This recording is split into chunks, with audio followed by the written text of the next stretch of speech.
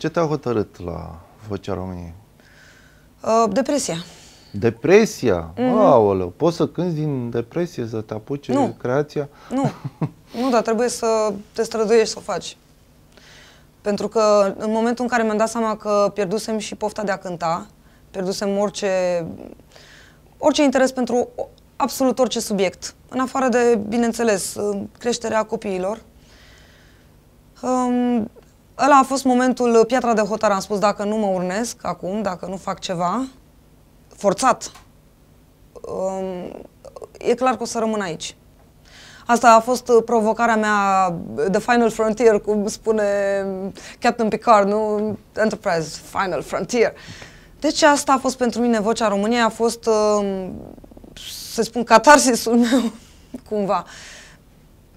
M-am eliberat de niște de frici foarte mari, ajunsesem să nu mai am încredere absolut deloc în mine, în, în uh, felul în care cânt, mi se părea că sunt uh, poate depășită, poate nu mai am nimic de spus. Vine un moment de genul ăsta în viața unui om, după ce trece prin niște etape și mă bucur foarte mult că am făcut chestia asta, că am reușit să mă urnesc. Scriai în continuare versuri, compuneai? Nu, Nu? nici nu mai cântam. Nu. Nu. Eu, până în momentul Vocea României, trecuseră 2 ani, am impresia de când născusem, nu, pictam. Ma. A, Pentru te-ai că eu dacă nu manifestat cânt, cumva, pictez, da, dacă da. nu pictez, Și ce scriu. pictai? Dacă, Ce- pe ce uh, erai? obiecte, Peisaje? restauram, uh, Ah. restauram obiecte uh, casnice, de exemplu scaun de lemn, l-am pictat frumos. O să-ți arăt poze, dar acum n-am Da, timp da. să caut. Uh, măsuță, de exemplu, care se ciobise prin anumite locuri. Uh, tablouri, am tablouri pictate de mine.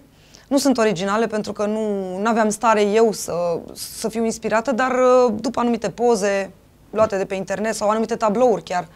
Dar așa am refulat, pentru că eu am zis că nu, nici nu aveam cum să iau uh, medicație, uh, având în vedere că alăptam.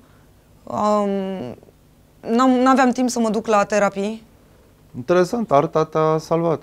Cumva, da, m-a, m-a ținut pe o linie de plutire, nu, nu știu dacă m-a salvat, Nu, pentru că da, e mult spus, mult da. timp a durat uh, treaba asta cu depresia și, și în prezent încă sunt, am momente în care mai cad și mai... Dar, uh, fă, din momentul în care o conștientizezi... Și ai câștigat uh, Vocea României Habar n-am cu cum. două modele, uh, Chirilă și Queen. Ai, ai și interpretat, parcă unul dintre Da. cântece a fost... uh, Da. Uh, Pe Chirilă, pe Queen uh, îl înțeleg, dar pe Tudor de unde l-ai recuperat? Uh, Când l-ai ascultat? Cum te-ai uh, întâlnit în... Și el își compune versurile, muzica, deci sunteți... Da. Eu înainte să mă înscriu, um, mi-am făcut cumva temele, mi-am uitat la toate sezoanele Ah. și cel mai, cu cea mai mare atenție am urmărit sezonul al patrulea, uh, care a fost primul cu Tudor. Și am urmărit uh, strategiile fiecărui antrenor și felul în care lucrează cu concurenții, genul de mm, piese pe care îl, îl dă la fiecare concurent în funcție de personalitatea concurentului. Mie mi s-a părut uh, Tudor a fi foarte uh, uh, în filmul meu. Um, Ce înseamnă pentru că în filmul fiecare, tău? fiecare antrenor de acolo este bun pentru într-o direcție anume. Evident că fi, niciunul dintre ei nu este universal pentru absolut orice tipologie de artist. Că unii vor să meargă într-o anumită direcție, uh, cantautori, alții vor doar să cânte vocal, nu, nu și compun.